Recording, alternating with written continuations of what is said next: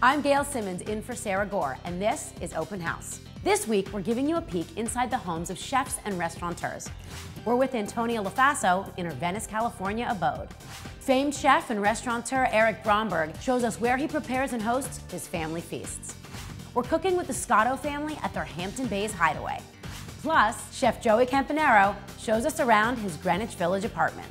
But first, we're heading out to Connecticut to check out Donatella Arpaia's lakeside retreat. I wanted to create the ultimate outdoor kitchen. So let's go make some pizza. Come on.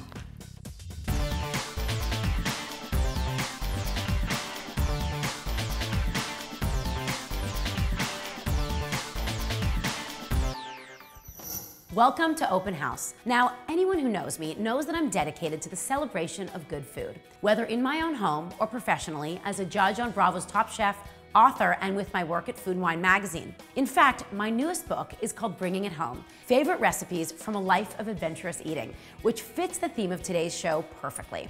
This week, we're taking a look inside the kitchens and homes of a few renowned restaurateurs and chefs across the country. The kitchen has often been called the heart of the home, and for these masters of culinary arts, this adage is definitely truer than most. And speaking of kitchens, check out this fabulous kitchen here. Just one part of a sophisticated Tribeca loft. From the entry gallery, you're delivered into this expansive main living space that's as chic as it is versatile. It's a perfect place to entertain, cook, converse, wine, and dine.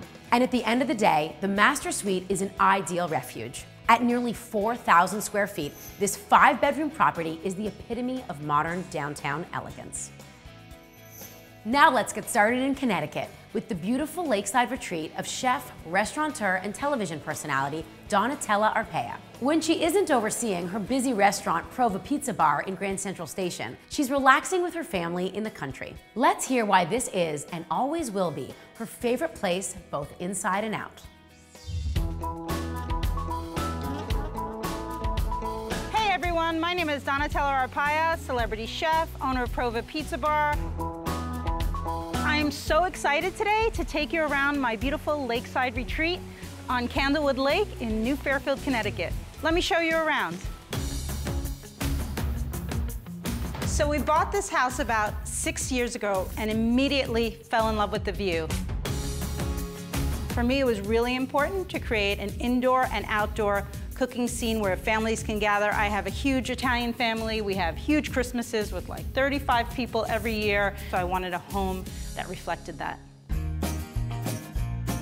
So right now we're in the living room area. In order to take advantage of these amazing views, we decided to create an entire wall of glass, and that really became the artwork for this room.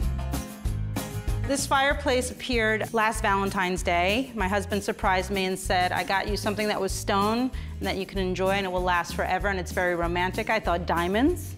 Instead, he got me a fireplace, which I thought was brilliant. So here is where I spend most of my time in my kitchen. Everything is open and meant to communicate with all the other spaces in the room. And right behind me, I get to look out at the beautiful view of my waterfall. To me, it was really important for this kitchen to have the latest and best in terms of appliances, functionality, but still feel beautiful, a place where everyone can congregate under all these massive, beautiful, honed marble counters. It's my favorite place to be. Sometimes people say they grew up in the restaurant business. I literally grew up in the restaurant business because my father was a restaurateur and when I was born, my crib was right next to the dishwashing station. It's how he lulled me to sleep. Prova Pizza Bar is a labor of love. It goes back to my first bite of real Neapolitan pizza when I was a child in Italy, and I wanted to take artisanal techniques that I grew up with and that rich culture that I came from of pizza and bring it to people today. As important it is to have an amazing indoor kitchen, I do live on a lake and I wanted to create the ultimate outdoor kitchen. So let's go make some pizza. Come on. This is an amazing wood-burning pizza oven. And today, I'm gonna make some pizza for you. Do I have any helpers around here? You gonna help me make pizza?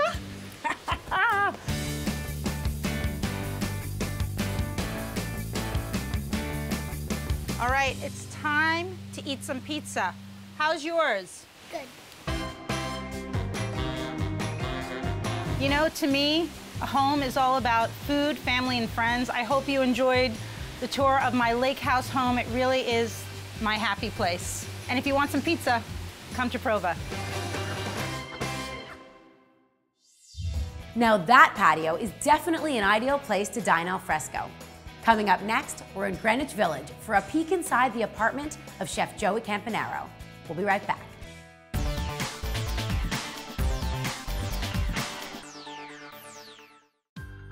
Open House is sponsored in part by Coldwell Banker, the real estate company with real advantages. Find your home today at coldwellbanker.com.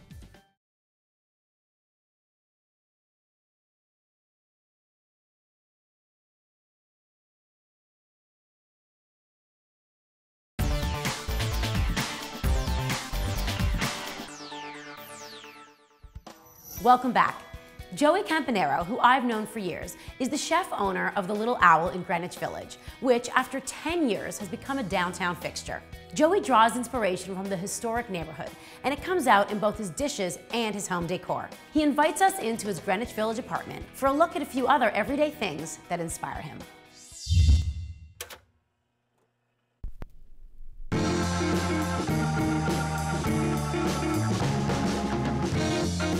I'm Joey Campanaro, the chef and the owner of the Little Owl restaurant. And this is Bo, and we're hanging out in my Greenwich Village apartment. What I love about this block is how close it is to Washington Square Park and one of my favorite restaurants in the whole entire universe, Babbo. Over a decade ago, I started out with one restaurant, the Little Owl, we ended up opening two more restaurants, Market Table and The Clam, our newest restaurant. All of my businesses are in Greenwich Village. So this neighborhood is the center of my universe. This home isn't the largest of spaces. It's a classic Greenwich Village walk-up but it's filled with natural nooks and crannies. For instance, the two sides of the fireplace, which one side I filled with a custom piece of furniture to house my records and my turntable, and on the other side, a mirrored bar. Off the bedroom is a little terrace that's surrounded by our seasonal plants and flowers, along with uh, an herb garden and some tomatoes and some peppers. It's a very romantic little garden for my girlfriend and I to have a cocktail before dinner. To you, babe. For the dish that I'm making for you today, it's a green bean dish. I'm gonna use peppermint and basil.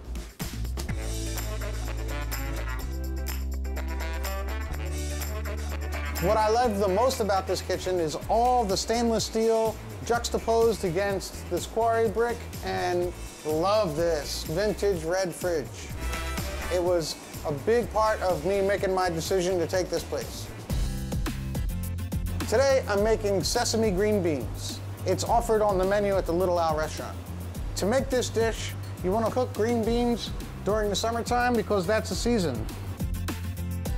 These green beans go right into a dry pan. Then I take a little bit of olive oil.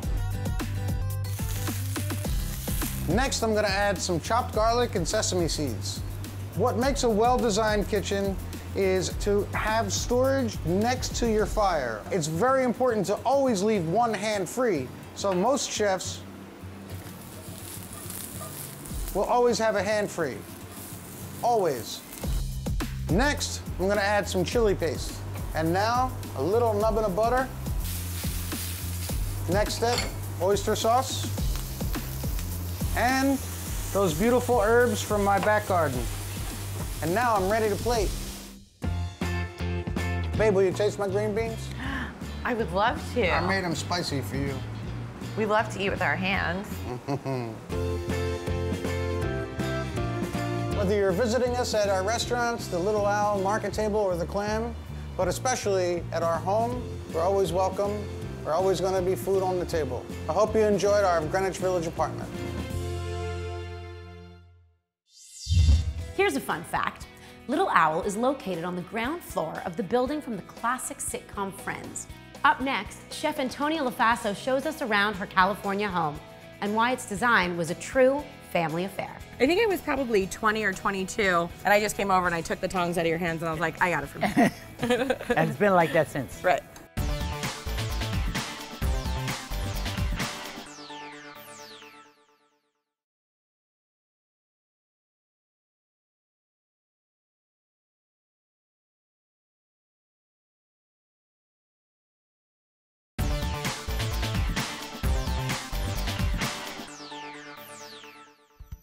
Welcome back. Now we're meeting up with Antonia Lofaso at our Venice home. She's a partner and executive chef of three restaurants, a catering company, and has even created a line of active chefware.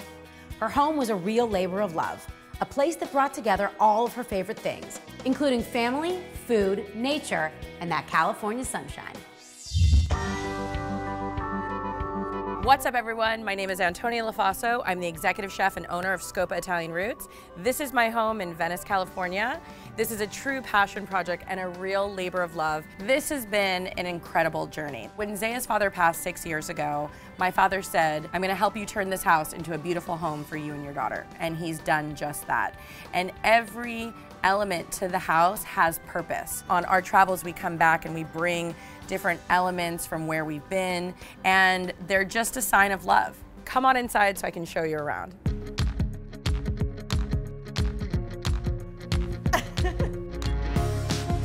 I really wanted a living room and really taking those words, a living room, into account. It's not supposed to be precious. I want to be able to have food on the floor. I want to be able to enjoy fight night with my dad. And I do a lot of recipe developing in the living room because it's kind of this comfortable, relaxing space. I have a beautiful candy dish that a friend gave me from Rome, Italy.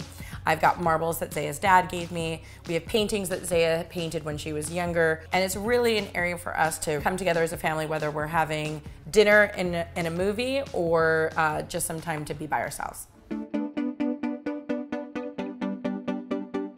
So my kitchen, it's not the most glamorous chef kitchen, but I love it because it has all the small little nuances of a restaurant chef. I've got my stainless steel walls, I've got my Metro shelving so that I can see all my pots and pans because as chefs we need to see everything. Um, and this is my favorite work table, needing just a regular prep work table in my kitchen, which ties this all to Scopa my favorite part of the kitchen is the tile. It was the bathroom tile. I saw it, I fell in love with it, and I said, I want this in my kitchen. So my father put it down for me. Zaya and I don't always see eye to eye with my father. He has very sort of old school taste. So when I have like these outlandish ideas of doing a completely yellow wall or a chalkboard door or this gray and white tile that came from the Scopa bathroom, always at the end, I get a little pat on my back saying, you were right which is pretty sweet to hear. Obviously, I like to cook inside, but I've got a great barbecue. I'd love to show you outside what I'm cooking up. What do you need, baby? You want me to help? So this is just a little surf and turf. Grilling, I think, has always been like a part of our family. It's great to be outdoors. Just like a little like sip Cheers. Now, I'll say obviously bread goes great with cheese. You would say bread is what? The essence of life. Everyone breaks bread. Big in our family, we love it. So when I was a kid, um, my dad always manned the barbecue. I think I was probably 20 or 22, and I just came over and I took the tongs out of your hands and I was like, I got it from you. and it's been like that since. Right. So you know what the trick to getting cockles to open when they don't open? Say hello. Hello. Hello. See, everyone thinks you gotta like dump lobsters in water. Night night. Well done. Well done. Well done. Mr. Bean, come on, you want to get on the barbecue? we'll make a nice hot dog out of you. Check them. Yeah, they're all open. They're all in there. They're all in there. All right, let's eat. All right.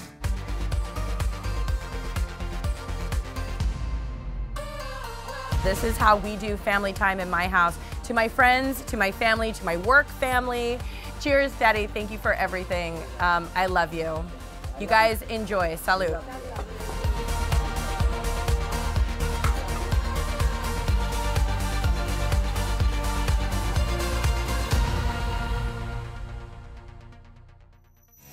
Stick around because up next is a carnivore's delight with Eric Bromberg.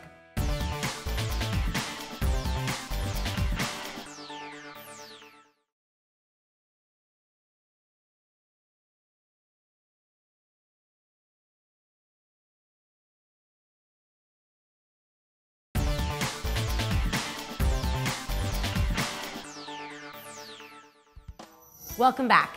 Now we're catching up with famed restaurateur Eric Bromberg, who, along with his brother Bruce, turned Blue Ribbon into an internationally recognizable and respected restaurant empire. But at the end of the day, Eric trades in the hustle and bustle of restaurant life for his serene farmhouse style home in Connecticut. Take a look.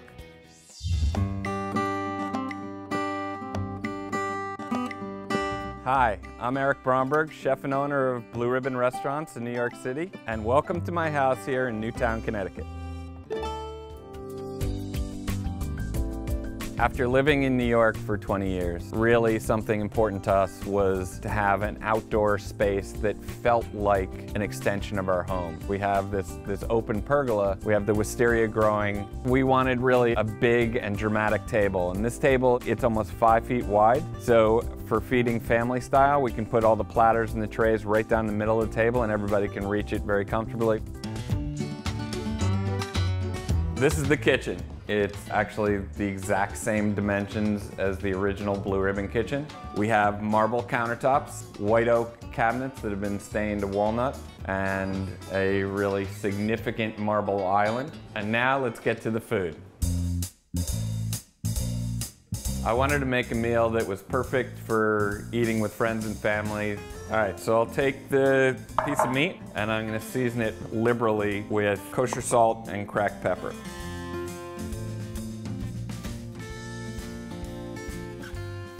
Now, whether you're roasting in a rotisserie like I am here or in an oven, it's always great to put some vegetables underneath. As the fat drips down, it kind of cooks in that delicious drippings that come off. I'm gonna let the steak cook for a little while. takes about an hour, and then we'll see you outside for lunch. So I hope you enjoyed taking a look at my house in Newtown, Connecticut. Right now, I got my eye focused on that end cut. I'm gonna sit down and enjoy this. Thanks for coming.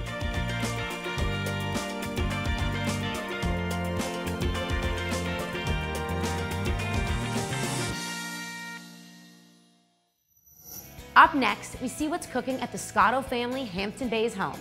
I wish I could catch my lunch every day like that. That's amazing. We love it. Ready to cook? I'm always ready to cook. Let's do it. See you after the break.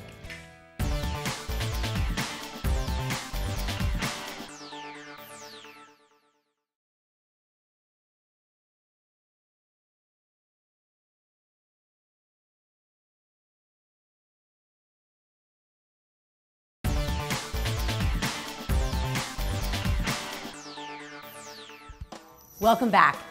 Now we join Anthony and Teresa Scotto, owner of Manhattan's Fresco by Scotto, at their Hampton Bays home. This is where they escape when it's time to get some R&R.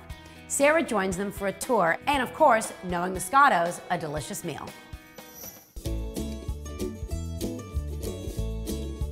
Hi.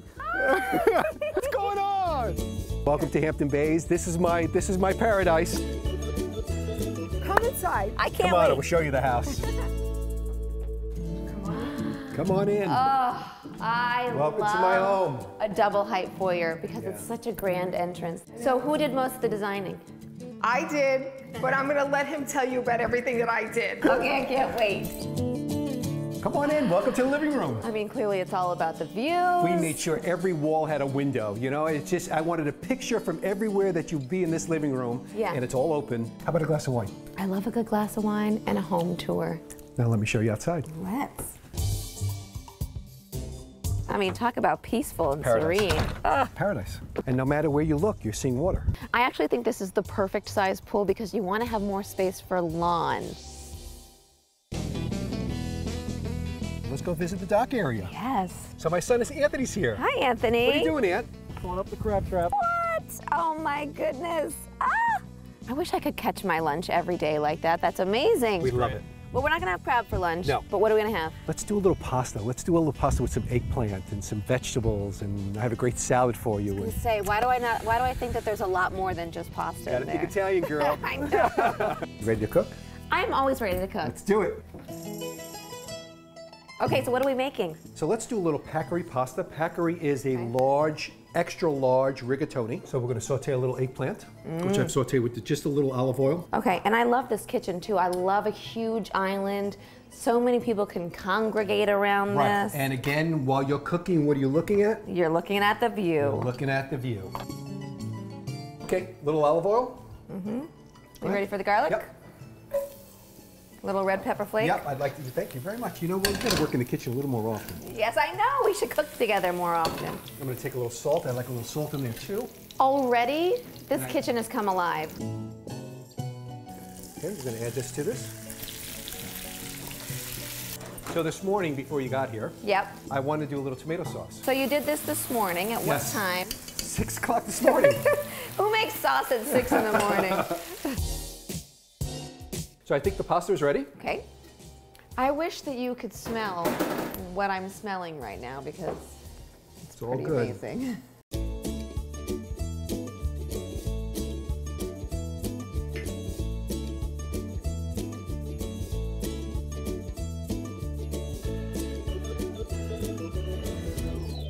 Okay, well, I'm starving. This looks amazing. Thank you so much for having us. Should we dig in? Let's dig in. Chin done. Chin done. That's all for now. It was such a pleasure filling in for Sara Gore this week and taking a peek at how chefs live when they leave their restaurants. If you're hungry for more culinary inspiration, remember to pick up my book, Bringing It Home Favorite Recipes from a Life of Adventurous Eating. And if you want to see any of the homes or chefs featured on today's show again, just visit openhousetv.com. You can also stay in touch on Twitter, Instagram, or Facebook at Open House TV. And check out the new season of Top Chef on Bravo. Thanks so much for watching.